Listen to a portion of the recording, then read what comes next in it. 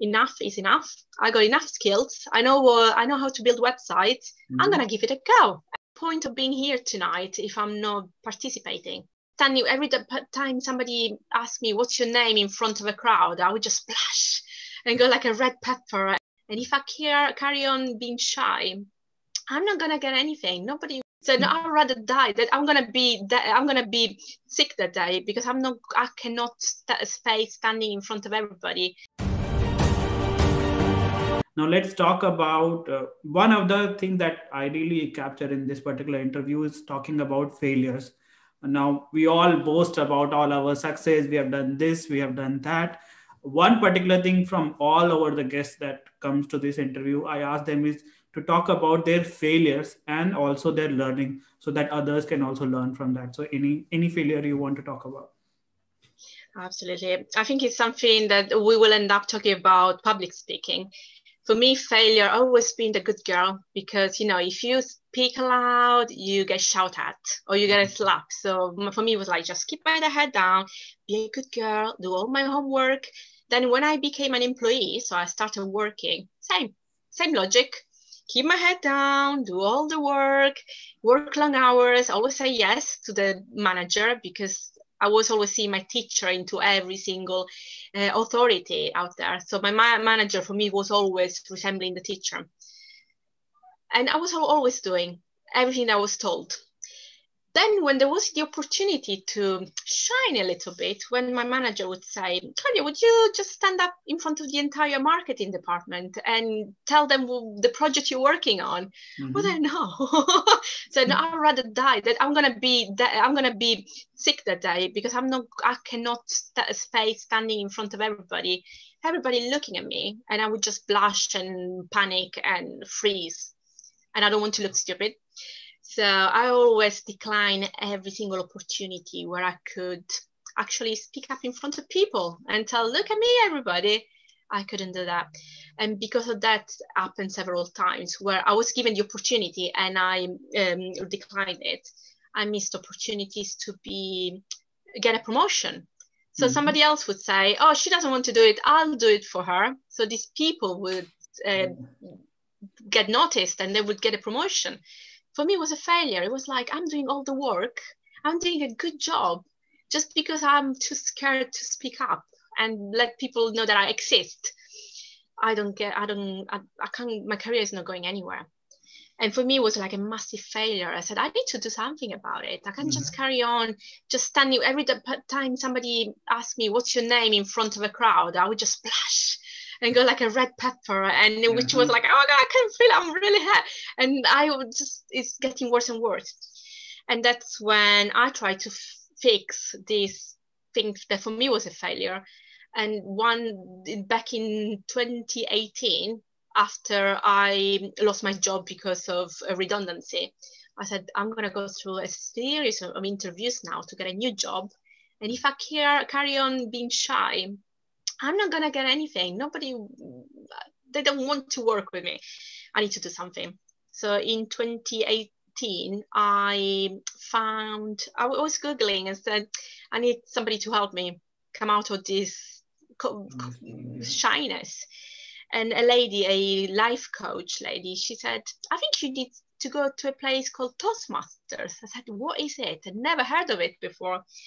So I Google it and I found there was a club in Basingstoke where I live. And I went to my first Toastmaster meeting. Everybody very welcoming. As soon as I entered the room, there was the good times when we could still go to a physical place. yeah. And I remember uh, one of the actual members, uh, still active members, welcoming, said, "Oh, hello, welcome in." Everybody's so welcoming. Sit down, asking me personal questions. And then there was an opportunity to stand up and say my name and participate to one of the activities, uh, the table topics, that's a Toastmaster. And I took part. I was too scared to go and stand up in front of the, the other Toastmasters. But so said to myself, what's the point of being here tonight if I'm not participating? Yeah. I did it. And that very moment when I stood up in front of the other Toastmaster and I was answering a question, I could see everybody like looking at me and they were like nodding and being encouraging. I was like, I actually like to stand in front of people and I had no idea. And that's where my journey started. And since then, I love to speak in front of people. If people say, anybody wants to say something, yes, me, me, me. and if I could go yeah. back in time when I work, I was at work, like a yeah. employee, I would have become like a CEO by then, by now for everybody look at me. But yeah, that's what happened from going from the failure, recognizing the failure and do something about it. And for me, Toastmaster has been a massive help to help to grow my confidence. Thank you. Thank you for sharing that. And I know for me also Toastmaster has been a transforming journey to say the least. So yep. And I think my audience by now is fed up of me talking about Toastmasters. So let's not talk too much about Toastmasters. But I think one of the uh, things that you end up saying is that you would have become CEO. And that actually will lead me to pivot to my next question that no, I know you are now an entrepreneur for a couple of years now at least. Uh, so how has that uh, journey of being a women entrepreneur being and what were your uh, challenges and then you know, uh, some of the wins that you have got you want to talk about that? Yes absolutely. So um, you know the market is unstable. So i unfortunately i lost my job because of redundancy. Uh, four times in 15 in 16 years that i've been in uk and then my last redundancy was a couple of years ago. And i said to myself enough is enough. I got enough skills. I know uh, i know how to build websites. Mm-hmm. i'm gonna give it a go and start doing as a freelancer so that's what I started doing, and then I built my company. And in the matter of less than yeah two years, I got a web design. I'm the CEO and founder of my uh, website company, and I got clients worldwide. I'm working with a team based in New York. I love it. I love the fact that now I'm the CEO. I made the decisions, but most of all, I'm the face of the company. So I mm-hmm. speak to all potential clients and all my customers. And if I wasn't a confident speaker, uh, people wouldn't buy from me. They wouldn't. They buy because I sell the website, but it's not like an end product that is built. Here you go.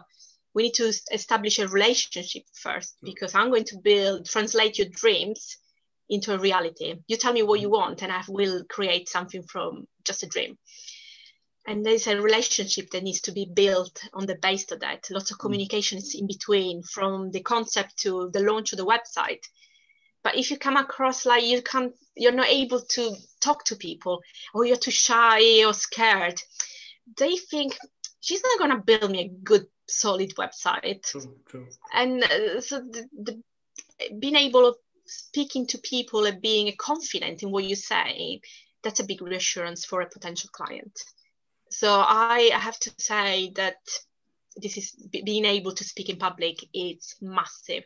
If you want to sell your products if you just want to build a relationship with anyone. So i think without the confidence that i really got from toastmaster i wouldn't be able to do what i'm doing or be at this level point um, where i'm running my company at this good level. So yeah that's what i awesome. what, what I would say. Become a confident public speaker is my my thing. I would just say to everybody, yeah,